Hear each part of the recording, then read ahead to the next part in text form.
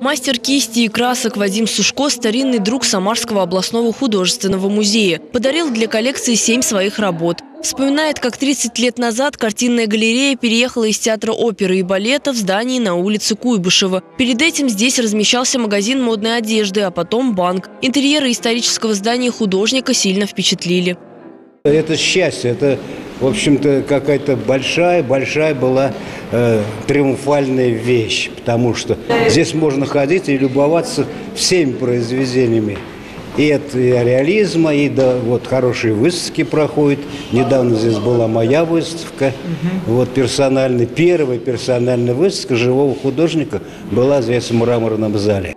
Научный сотрудник музея Татьяна Петрова вспоминает 80-е годы. В те времена директором музея была Анетта Яковлевна Бас. Она долго уговаривала городские власти найти многотысячному фонду уникальных произведений искусства новое помещение. 26 декабря 1989 года мечта сбылась. Областной музей поменял прописку, а при вселении произошел курьезный случай.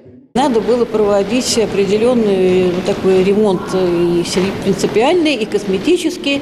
Вот, все это было сделано очень быстро. И потом, да, и мы сюда приходили, и тут потихонечку все убирали, разбирали. Я помню вот этот зал, который наполнен был э, рядами стульев, и было сцены, на сцене стоял гипсовый Ленин, поколенное изображение. Вот. И помню, как как-то неудачно что-то случилось, и, короче, гипсовый Ленина разбили.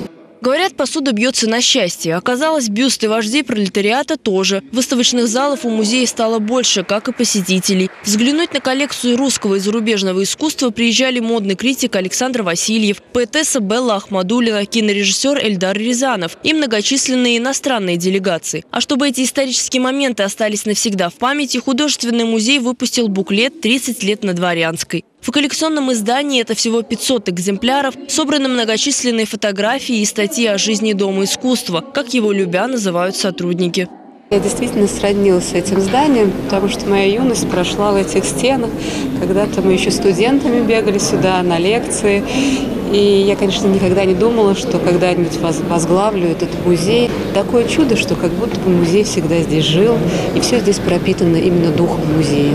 При новом директоре Али Шахматовой жизнь областного художественного музея закипела с новой силой. В следующем году музей покажет самарцам несколько новых выставок, в том числе и из Третьяковской галереи. Мария Илчан, Сергей Кизоркин, Максим Гусев. События.